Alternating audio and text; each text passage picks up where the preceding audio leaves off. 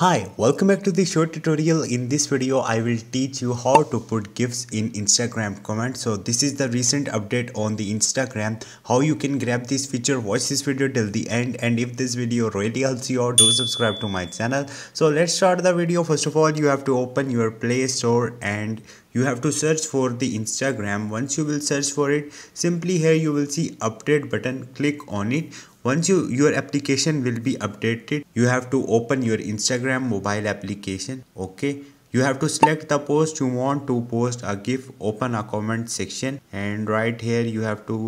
uh,